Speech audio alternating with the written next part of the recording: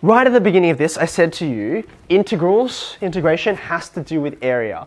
But it's, it's a different kind of area. It's like area but not. Um, it's area but not your grandma's area, okay? We have to treat it a little more carefully. There are nuances you have to watch out for. So the key is in how the question is phrased, and let me give you two counterexamples, okay?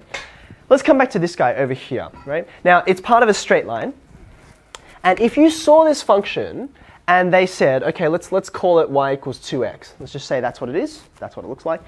And let's call this value negative 1 to 0. Okay? Now, if I asked you, if a question posed to you in the HSC, what is the shaded area? Just mind the way the question has been asked. What is the shaded area? It's not a trick question. Have they said anything about integrals? No, they have not. Have they said anything about signed areas? No, they have not. The question is just, what's the area? How big is that thing? Okay? In which case, if you see it underneath the axis, but they don't say anything about integrals, they don't think, say anything about sign, they're just saying, how big is it, right? So you need to call that a positive area, because just like lengths, like in Pythagoras, you work out a hypotenuse, you're used to disregarding the negative, because lengths are positive. Well, areas in themselves also positive, okay? So if the question said, what's the area, give, like, work out the triangle, and then just say, I don't know, like five square units. Full stop, no negatives, okay? If, on the other hand, and this is the exact reverse kind of question, okay, they will pose you actual questions like this. You see them in your textbook when I give you the HSC practice questions on this topic, you'll see them as well.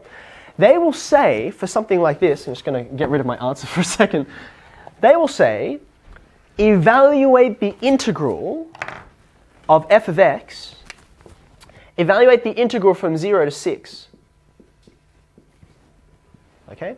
So this is a very different kind of question, right? It's closely related, areas are still involved, but because it says work out an integral, work out an integral, now you have to pay attention to where the areas are. Does that make sense? I have to pay attention to position. So how would I actually do this? Well, let's work out the areas above the x-axis first. Tell me what kind of shape is there. I know it's a bad diagram, but just guess. Looks like a rectangle, right? To work out the area of a rectangle, you just need width and height.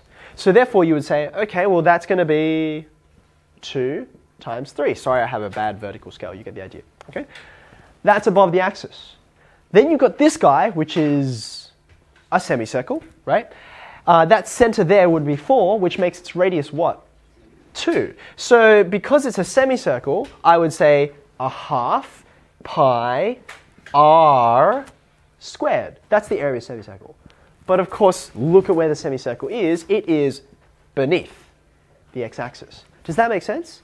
So because the question has said to you, tell me what the integral is, now you pay attention to position.